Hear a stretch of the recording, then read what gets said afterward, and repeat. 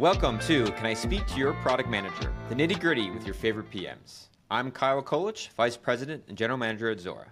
And I'm Lucas Weber, Director of Product Management at Zuora. On today's episode, we have Bjorn Morton, Senior Director of Product Development at Gannett. And we're going to start off the show by talking about Bjorn's recent Never Have I Ever moment, as well as his best tips and insights for being a successful PM in the ever evolving business landscape. Thanks for joining us uh, today, Bjorn. So, each episode, we like to kick things off with a little game of Never Have I Ever. Never have I ever. Never have I ever. Never have I ever. so, outside of work and your role, you probably get to do things that maybe you initially thought were impossible.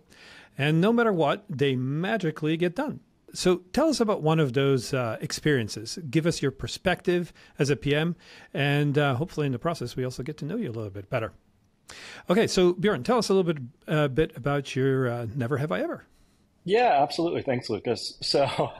Uh, this is a couple months back. Uh, went up to a beautiful indoor skydiving facility. Um, actually, took my 11 year old daughter along as well. Um, I have never really had any interest in trying skydiving. Um, honestly, didn't have a ton of interest in trying indoor skydiving, uh, but my daughter had some friends who were a little more interested, and, and I got uh, taken along for the ride, shall we say. Um, and yeah, I, I, I, know that, that you have a little skydiving experience yourself, um, but brand new to me. Uh, and, and I, I, have to say, um, I, my 11 year old did a lot better than I did. Let's let's put it that way. Um, I, I, wouldn't say on a on a one to 10 scale. She was, you know, ready to go back the next day. It wasn't a 10, but, you know, solidly in that 7, 8 area. Um, and yeah, I gotta say, she looked pretty good, you know, sitting there in the tube and, and uh, looked like she was at least enjoying parts of it. Um, now, my experience was a little bit different. Um, I, I, think uh, through through absolutely again, no fault of the facility or, or the, the trainers were, were excellent. Um, but I don't know. I, am you know, 175 pound guy who maybe doesn't have that uh, core strength. Um, so you, you put me in a tube of, of moving air and I don't know, I, I've tried to make sure that the, the photos were destroyed, but I think I must have looked a little bit like a, a horribly contorted pretzel um, again, despite the the best efforts of everyone to, you know, you, you got to find this balance, right, between uh, letting go, relaxing. The the the air is more powerful than you. All all that stuff, but maintaining that that core strength, so you know we don't end up like a pretzel. So, um, yeah. I, think a great experience. Um, probably not one I would elect uh, to to try again. Although uh, you know, you might have to talk me into the uh, actual airplane version, but uh, I don't think I'll be going in that tube again. um, very very cool. did you go just with your daughter? Were there any other friends involved? Did you see anybody else go in there with you guys, or were you just by yourself? Because usually it's kind of yeah, yeah, yeah. communal event, the, right?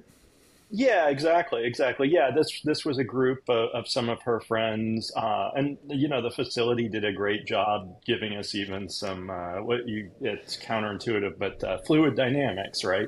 Uh, mm-hmm. Giving them a, a little bit of, of, education on the tube, and you know all the the associated uh, parlor tricks that, that you can do when you you've got a tube like that. Um, in terms of, of throwing toys and, and water in there and, and seeing what happens, yeah. Is it similar to the you know the Charlie and the Chocolate Factory when they were going up and up and up? Are there blades up there that if you don't stop yourself, you get chopped to pieces, or how does that how does that work? I'm, Thanks, I, Kyle. I, I actually did get the, the safety briefing on that, oh, okay. and and apparently no, that's that's quite impossible. Okay, um, you don't have to they've burp got or anything. redundant no, it, they've they've got uh, they've got redundant towers uh, that I guess push the air up from the bottom, um, and then and then it loops back overhead. But but I'm told that uh, a it's impossible for it to turn off too unexpectedly, and and b uh, impossible to actually get sucked up there. So tell us maybe a little bit about the experience in terms of just mentally going in. I mean, this is something you've never done before. So, what did you tell yourself before the experience, and how did it compare with you know what you actually experienced? And maybe if you did go back, uh, you said maybe you know that that's there. Like, what would you do different? Yeah, that's a good question. So I, I, think I told myself that everyone else is doing this. You can do it too, uh, as you know, we all do as, as a uh, as a coping strategy, and I, I, think to some degree that worked.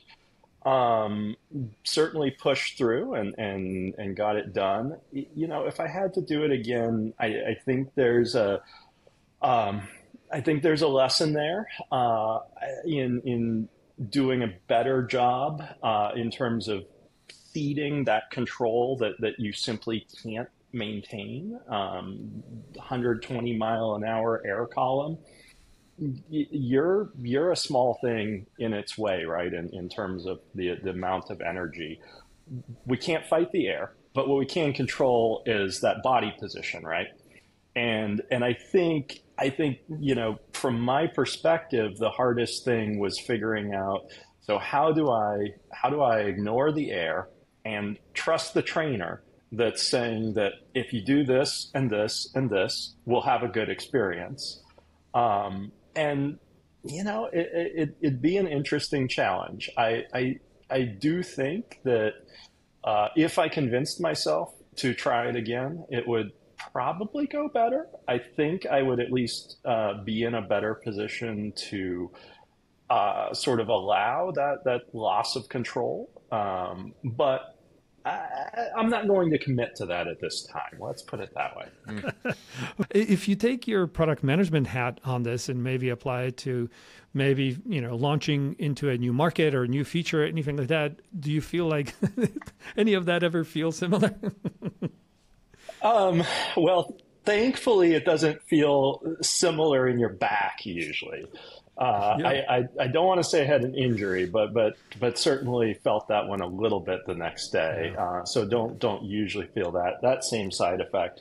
Uh, but you know, I, I think where it, it, does feel the same is is that sort of delegation to uh, to um, powers that are greater than you, perhaps um, and figuring out how you're you're pushing through that project maybe is the same as as pushing through that that air column.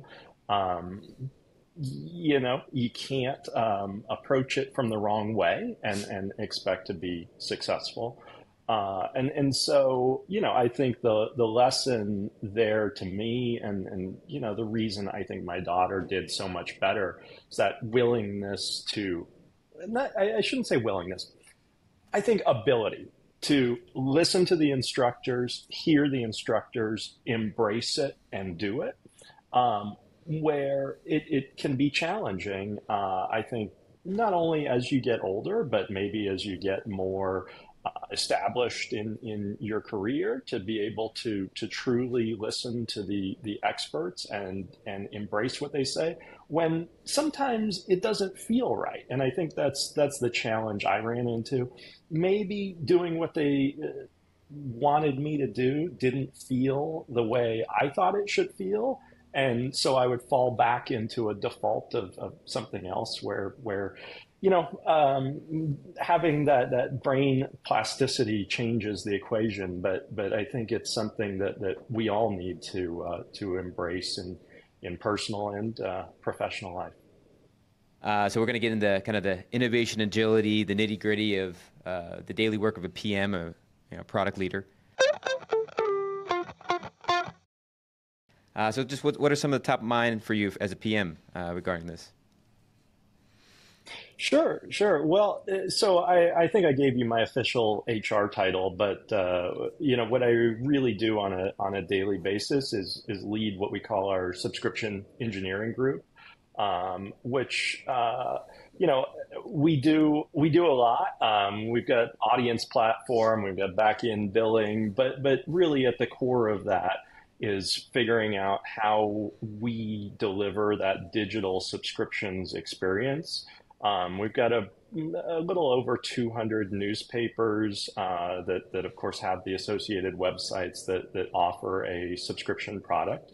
Um, those are, are, you know, mostly uh, cities like uh, Indianapolis, um, down to smaller cities, and of course, USA Today is is our flagship. Um, but what we do is is work on the technology, whether it's you know figuring out how to support an emerging paywall model. So we uh, I, I, think we're all accustomed to what you would call like a basic metered consumption model that, that most newspapers have been doing for, I think, at least a decade now. So read a certain number of articles, and after you've read those articles, we're going to ask you to pay up. Um, or maybe some people have a, a, hybrid model where some of those articles are uh, tagged as subscriber only, so more of a, a, a freemium model. I think what what we're seeing is that that that does work um, up to a point. So absolutely allows people to engage with your content um, and get them to a situation where they they could choose to become a subscriber. Um, but I, I, think what we're seeing uh, at Gannett and, and in the industry in general is that probably those sort of basic models um, are going to have to get, um, if not replaced, at least supplanted by by smarter models. Um, and that's where we're spending a lot of time right now. I, I, don't have don't have answers yet uh, as far as how we solve those problems. I think we're we're frankly a ways out from that. Um, but I think we have to start thinking more about creative solutions in that space so that we're asking people to pay at the right time. Um, and yeah, that that's probably the most pressing one right now. Yeah, so, so paying at the the right time. What I also uh, saw something a little bit in some of your research about having a subscriber uh, having its own price too, like getting down to the not only when when to pop the the paywall, yeah. do that, but actually get to that unique price to per per per user to that level. Yeah, yeah, absolutely. So, um, you know, maybe more dynamic pricing. Um, we've been looking at various models for a while, as, as most have, in terms of, of how are you deciding whether a uh, the the propensity of a subscriber um, and, and I think we're at a state where there's actually pretty good modeling around saying that there's some basic propensity here. Um, mm. Generally, I, I don't know that it's that difficult. If you know, when, when we're talking about the the, the TAM of uh, an Indianapolis star, it's it's you know generally people in that that market area. Um, but obviously, there are, are consumers that, that are going to be better prospects um, and, and those that we probably shouldn't be um, at least spending money trying to reach. And, and uh, yeah, we've been fairly successful uh, at, at that for a while now.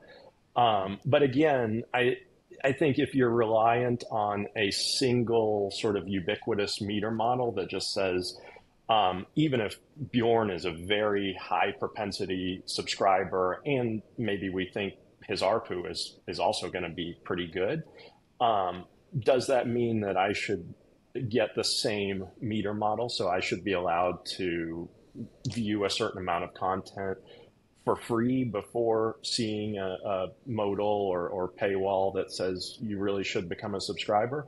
Um, maybe that rule set is is different depending on how that subscriber looks. Um, but agree, it may also be that, that at the end of the day, the the rate plan or or product mix looks different. Um, you know, one thing that that we're also working hard on is is figuring out what um, bundles and, and packages might look interesting to consumers. So I told you we've got 200 plus websites with subscription models.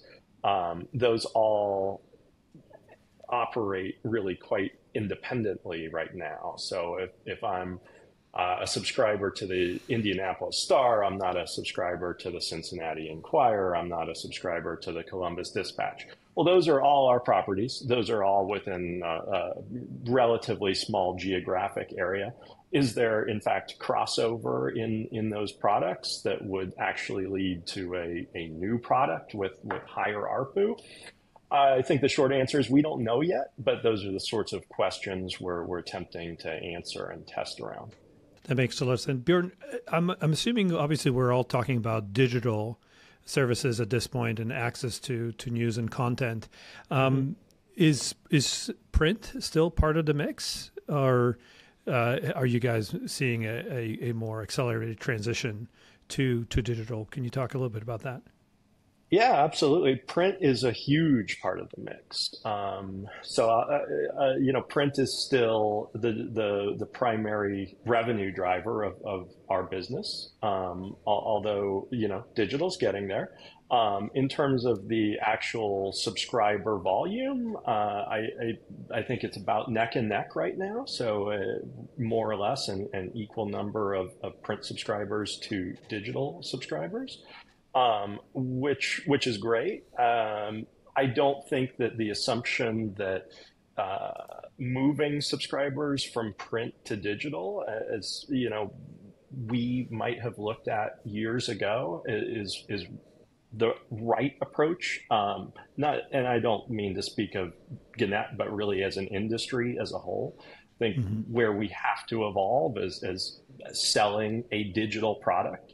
Um, so it, it, I think it's a question of, of, from our perspective, do you look at the print newspaper as a, a product that's really distinct unto itself, something tangible that shows up in my driveway? I can lean back um, with my cup of coffee and consume that.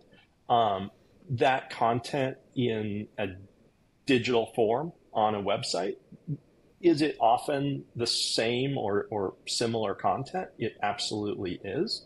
Um, but I would argue that from a product perspective, the, the packaging, um, if that's the right word for it or the best word for it, it very much does matter.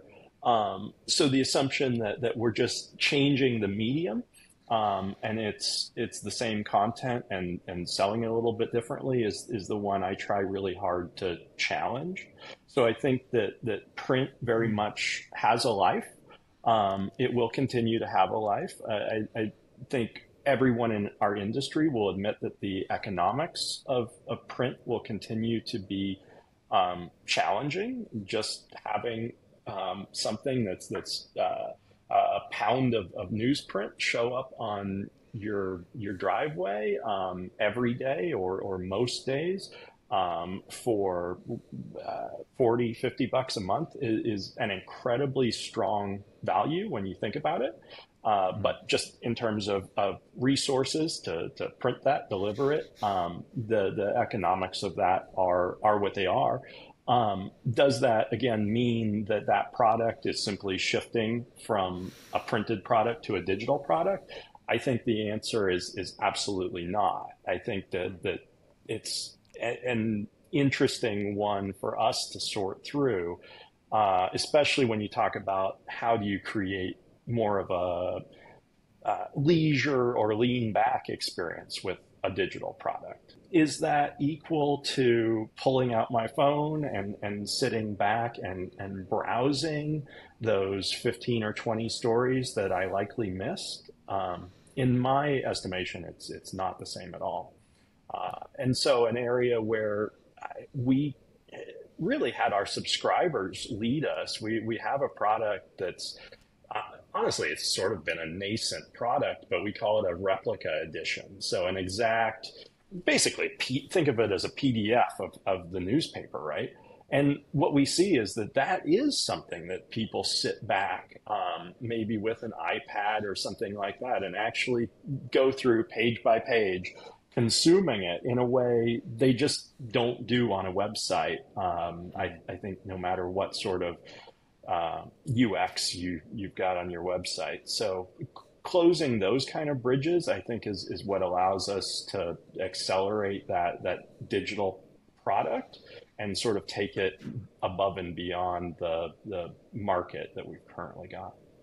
It's amazing that you guys are continuing to to look at different products and and innovating. I mean, the the whole concept of having a PDF, right, that that kind of simulates the the actual print and having folks consume it in different ways is a it's an amazing way to to kind of explore your subscribers' way of of consuming um, this this information uh, and, and exploring new things. Any any other initiatives that you're you're particularly looking at? Obviously, you talked about pricing and packaging, right? Uh, delivery of this content in, in various ways. Um, anything else top of mind uh, for for you in in the industry? Yeah, today? you know, I think the last one that that we've uh, had the chance to make a lot of progress on this year, in in particular. So, as as part of this thinking about print and digital as, as perhaps two different groups of users. There's overlap in some places and not overlap in other places. You know, one thing that, that challenged us was making sure that the actual subscriber experience um, sort of matches the product. And I think one thing that, that we've found over the years is that um, a print subscriber, uh, when they go through checkout, we obviously need to validate their address and that it's routable and how many days a week we can get it to you. And very different, I think, user experience and, and frankly, user willingness to proceed through a checkout funnel um, than we've seen on the digital side. Uh, so I think one thing that, that Gannett did, and a lot of companies, certainly media and, and others did, sort of take that as part of that transformation, take that tool set that, that we'd applied to selling print subscriptions and apply it to digital subscriptions. And I think what we see that, yes, that works to some degree, um, but as that digital product evolves um, and, and the digital consumer evolves, they've got very different expectations. Um, so I think on the digital side, we start focusing a lot more on how do we get the consumer through this funnel with as little friction as possible, you know, assuming that they're on a mobile device, maybe even on an in-app browser, you know, lots of, of not ideal circumstances, but I've got, I'm willing to pay you. Um, and I'm willing to, to fork over that credit card number, but, but that deal is a little bit different, right? As, as, from our perspective, I need to be able to, to handle that transaction really quickly and really gracefully and get you on your way to your story. Where with selling print, you know, I think we can afford to, to lose a few cycles there while we figure out if, if your address is deliverable. So um, that's that's one that we've been been working closely with with Zuora on to, to optimize. Yeah, and that's one that of those makes things a lot where, of where sense. you, yeah. where you get where you get the customer excited about the article, and they're probably like, you know, the attention span of people are pretty short. They want to read the rest of it quickly. You make a, a long process exactly. for getting in the credit card and going through a process. It's like, ah, oh, you know, forget it. But if you optimize that funnel quickly, you can go like, okay, now I get my, I get I get to read the article. I've got my interest now peaked. I can read more, and then you kind of hook them more. So that that that funneling and, and optimizing that speed of transaction is critical. Mm-hmm. Absolutely. Conversely, ordering the actual print edition, right? I mean, it's there's already an expectation that anything shipped to you requires a little bit more care, right, to make sure that it actually gets to you. And obviously, as a consumer, you're interested in making sure it gets to you and not your neighbor's house or gets lost somewhere. And there's a little bit of a, an expectation that now this will be uh, coming every day, and so it, it, it it's kind of a a, a, different experience and different expectation of timing. Uh, just like I think Kyle said, right? Instead of that instant gratification, this is now look. I'm, I'm going to get my paper. It's going to be awesome. I can already imagine myself on a on a Sunday leaning back, like you said, right, relaxed and, and really enjoying what I'm what I'm reading. Uh, very different than the in the moment. Hey, I've got this article. It's really fascinating. I want to know more. You know, how do I get to read it? I think that's a great characterization of it um, in, in, terms of uh, instant gratification versus versus lean back and and um, you know I'll meet you on your terms. in terms of meeting people on, on their terms, I think I'd love to now go to our segment uh, on PM power moves. Power. Powering up. Power move. So, this is a segment where we actually ask you about maybe a particular instance situation where you had to really put all your PM capabilities uh, on on full, maybe take it to eleven, as it were, uh, and uh, and bring that to solve some sort of a problem. Is there uh, any particular thing in your mind where you had to really wrestle with something down, and maybe you can tell us a little bit about it and how that resolved itself? Yeah, yeah. So I'll, I'll actually jump back uh, to what we were talking about in, in terms of that overall sort of checkout experience modernization. So, um, you know, as I said, that's that's something that we've been doing for a long time. Um, but again, we've been doing through the lens of, of a print product. Um, and, and, so, as a, a product manager uh, or a product slash engineering manager, sort of tasked with how do we how do we elevate that experience and how do we make that experience right for uh, a digital consumer as opposed to just any news consumer. Um, yeah, that that was identified uh, by Gannett as, as sort of a core challenge um, late last year, and, and that's really that the, the big thing I've been working on. So it's difficult. Um, I sit within our product engineering group um, at Gannett. Uh, I, I, I have to say, um, you know, was a subscription led company long before subscription led companies were cool, right? They're not always as applicable to some of the digital specific use cases as, as you might think. So I think as a as a product manager where where I've flexed over the last uh, year or so is in that space where the decisions that we're making from sort of a digital consumer uh, perspective in order to evolve that overall CX have a lot more business crossover um, than than you might think it is. So it's it's been interesting to get involved with uh, with tax engines and and compliance and, and all that that fun stuff that really goes along with with getting under the hood of, of optimizing a, a billing system. Um, and, and you, you, know it, it, it's tempting to say that well from a product perspective do i need to know about a tax engine?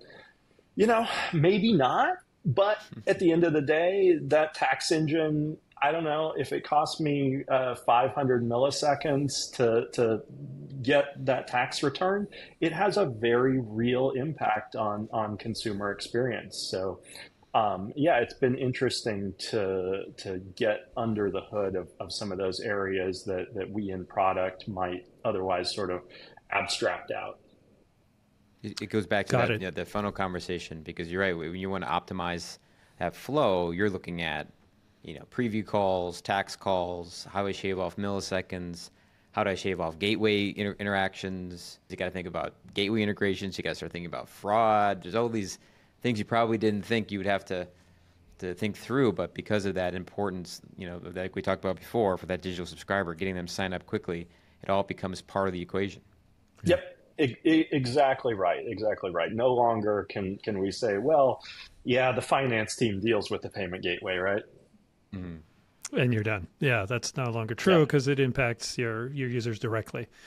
Uh, exactly. So that's interesting. All of that is fundamentally different than what has been going in since the early 1900s, right? So all of that now becomes purview of what you need to wrestle with and understand how it changes the dynamic. In any particular instance there where where you found that uh, you you had to really dig into the details? and mentioned the tax engine. Uh, any any uh, other technology maybe that you found that came into the picture that you you initially thought wouldn't be an issue, but actually caused uh, you know some some level of of needing to really optimize the the experience for your customers. Yeah, yeah. So I think we're we're we're in the midst of that right now. Actually, I, I think it, it's it's the other piece of that that that maybe usually sort of uh, sits in the background, and that is the payment gateway. Um, hmm. I, you know, I think uh, we so we have an interesting model. It's it's generally predicated on um, introductory offers that are very low price. So you know, one dollar for three months, one dollar for six months, etc.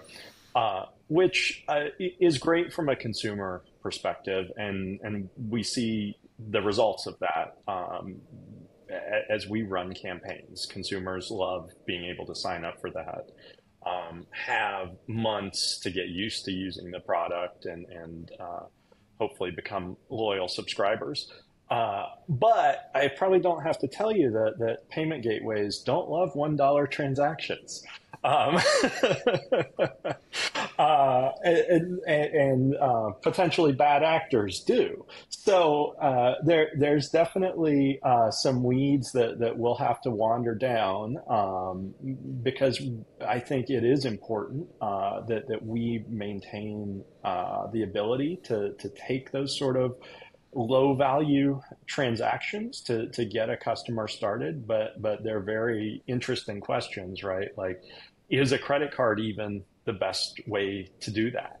Um, and that's where we're a long ways off, I would say, but I, we have to start thinking, and, and definitely we are starting to think as um, you know, Bitcoin or, or crypto in the more general sense becomes ubiquitous, is that currently a platform where uh, it's viable to take a $1 payment? Absolutely not. Whether it's it's Bitcoin or, or Lightning or whatever, the user experience of, of doing that is is frankly horrendous.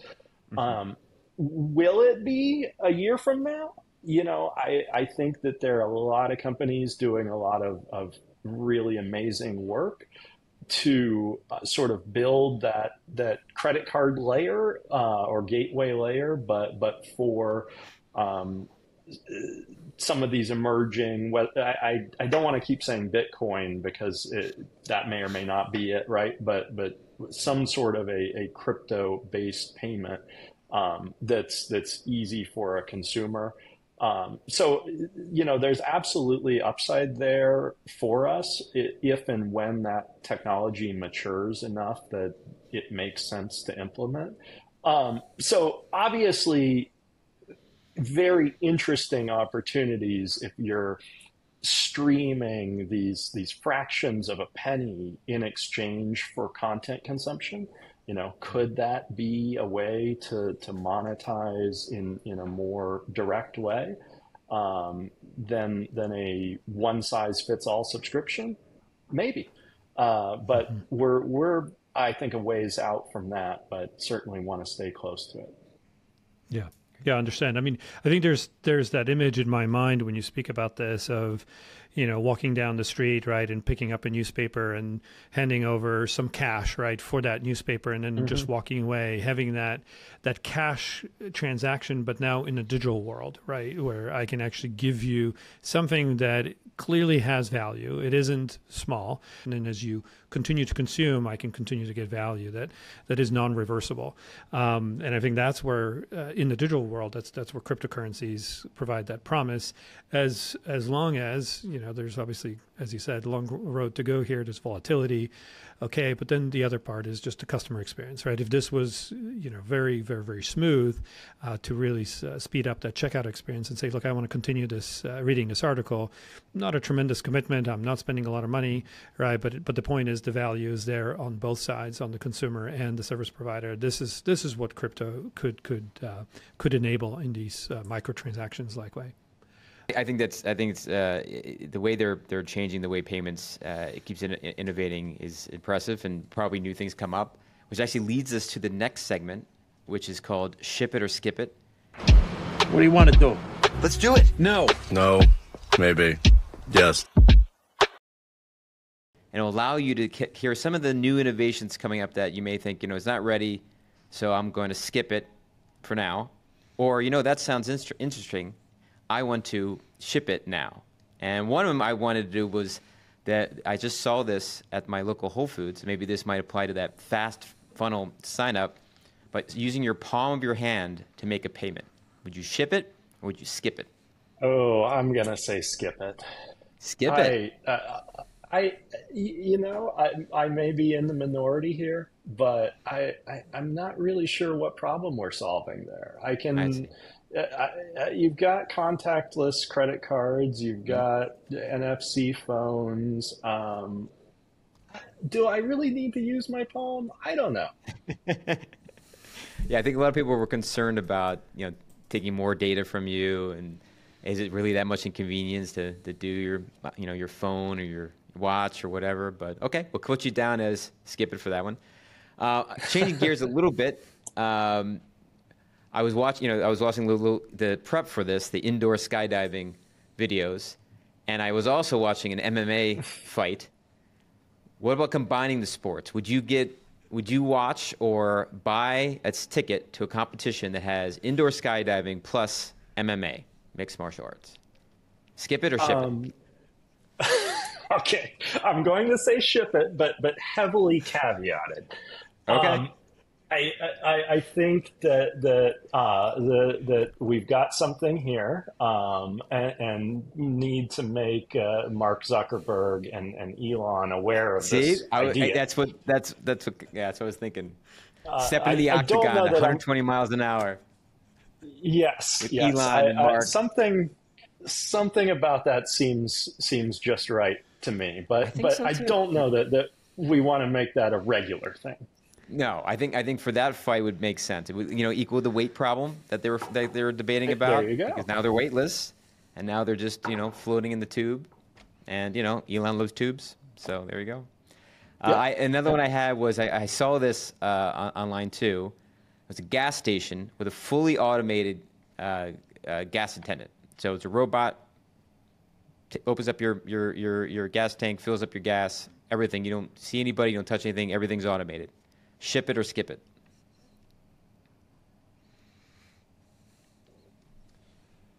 So, I I've been a Tesla driver for five years now. So the number of times I've actually had to pull out that uh, gas uh, is limited. So uh, I may not be the right audience for this product, but okay. I'm going to say skip it. It to me, okay. it has every hallmark of, of um, building something uh, that's very cool, but nobody needs. Right. Hmm. Well, it could be a disaster so, too. it could be a disaster. Nice. Yeah, that's right. Well, so let's let's maybe put it in the context of uh, of your current capability, right? Obviously, electric cars today still need charging. They still need to be plugged in. Um, would you uh, ship something where the, the charging is just automatic? You know, you park it and and you walk away, and it charges, right? I mean, it feels like we're close there. It feels like Roomba vacuum cleaners already solved that problem, where they found their own charger. It's just we're not yeah. quite there yet on the electric car. So would you would you go for that? That's a great question. Um, I will say, no, this may be my Roomba. Don't don't want to talk bad about Roomba, but uh, and it's probably listening. So uh, you know, uh, it only finds its home about fifty percent of the time. Um, mm. what you case, didn't know. There it is. Uh, Very good. So you know, do I do I see a value? Uh, so with electric vehicles in particular, maybe. Uh, mm. But because we're talking about what being plugged in for hours at a time versus pumping gas for, for a second, um, yeah. Is there potentially a niche value there? Sure. Um, are you going to see s- supercharger stations convert to uh, some complex robotic thing? I don't think so. Not not when you've got that kind of foot traffic in an outdoor situation. Um, I, I, I, I guess I'm um, simple is better, man. Okay. Simple as better. Well, very good. Bjorn, really appreciate you joining us today. Thank you. Uh, we look forward to keeping up with you and seeing how uh, Gannett and, and all the user experience uh, continues to uh, evolve, particularly with pricing packaging and some of the payment methods that, you, that we talked about, potentially cryptocurrency being uh, involved. Again, thank you so much for, for joining us today. Absolutely. Thank you for having me.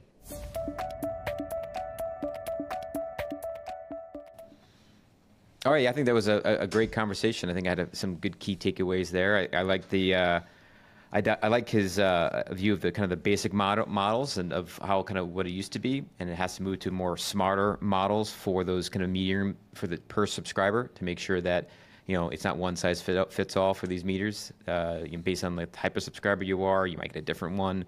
Uh, it's more kind of more subscriber specific, which I think is pretty uh, interesting and kind of how it's evolving to make that important. Uh, I like his whole kind of digital and print. You know, print isn't dead. Print's pretty pretty important still. Uh, it plays to um, their strategy. Uh, you know, it's still 50-50, he said. Mostly was print and digital is not completely. And I like how they first thought about trying to convert them, and they're like, wait a minute, that that's that's a harder battle. Let's see if we can work them together and and make a better experience for that subscriber overall, if they're print or digital.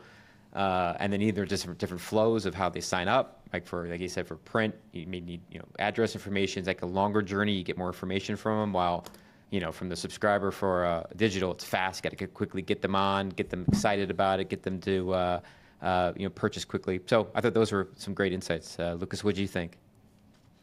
Yeah, absolutely. Very, very interesting things that you, you picked out there. And I would agree wholeheartedly. From my side, just a continuing work on trying to figure out what the customer experience is, uh, both from a packaging perspective, which is how do you actually deliver the service, the, the thoughts about innovating with the PDF of the newspaper, right? So that you can still have kind of the form factor of the newspaper, but not really in the medium of the newspaper, just exploring how customers consume uh, the news. I mean, I, I, certainly uh, partake in the, you know, I need the instant gratification. I got five minutes before my next meeting. I want to check what the latest breaking news is, right? But there's also that thing of I want to sit down and kind of get more of an analysis of what really happened this week, stay uh, in the news, right? But uh, so that I don't miss anything when I talk to my friends. So having to explore that and how do you bring these different uh, readers uh, and subscribers um, and their right experience and the right packaging and pricing is is is really interesting that they're continuing to exploring that.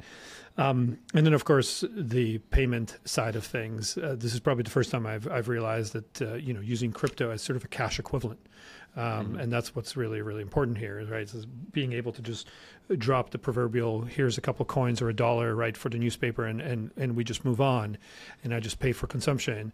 Uh, that was always a very, very quick thing to do, right? Obviously, the uh, romantic vision in a movie of somebody, you know, running down the New York uh, street, right, and picking up a newspaper, throwing some cash on and going on yeah. Uh, to their subway or whatever, right? That's it's the that digital equivalent of this and, and making that experience really smooth. So that made it uh, made me realize where crypto could be very valuable, right? Apart from all the other things we hear about it. So I like that uh, quite a bit. Um, I think those were my, my uh, main takeaways. Phenomenal uh, episode. Really enjoyed talking to to Bjorn, and um, hopefully uh, that evolution will be something that we'll, we'll enjoy as we subscribe to to media uh, in the, in that industry. But uh, that I think wraps up our episode. Thank you so much for joining us. Be sure to hit the subscribe button, and we're looking forward to having you on our next episode, listening to that when it comes out. Thanks so much.